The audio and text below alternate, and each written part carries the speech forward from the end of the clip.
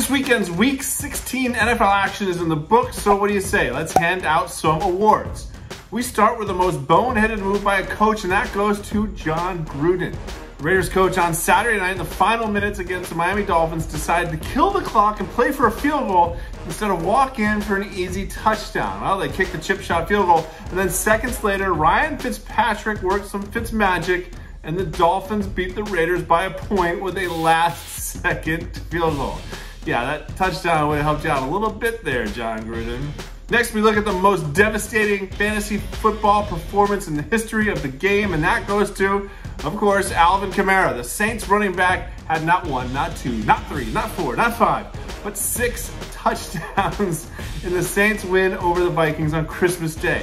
If you had him in your lineup during championship week, then well, you probably won. And if you didn't have him, chances are you lost. yeah.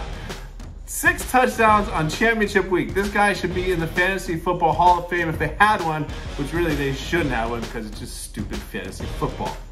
And finally, we look at the best job of losing for the future, and that goes to the Jacksonville Jaguars. While the Jets were busy on Sunday winning their second straight game, the Jaguars were doing the right thing and losing their 14th straight game. Sunday's loss to the Bears gave them the number one pick in the 2021 NFL Draft. That is how you do it, Jaguars.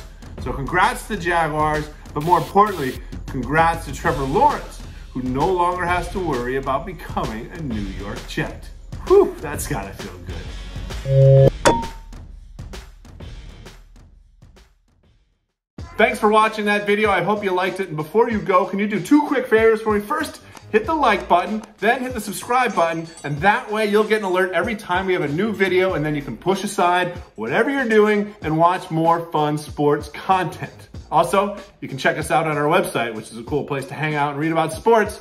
So thank you, and go sports!